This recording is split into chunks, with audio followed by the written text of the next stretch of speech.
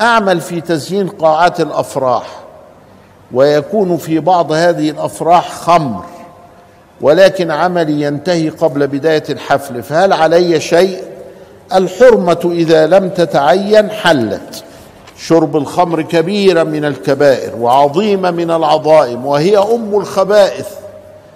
ولكن كون ان هو بيوضب وكذا وبينصرف لا يحمل خمرا ولا يقدم خمرا ولا يشترك في خمر. ثم بعد ذلك جاء أهل المستعمل فشربوا الخمر والعياذ بالله تعالى فيبقى العبرة على المستعمل والحرمة على المستعمل.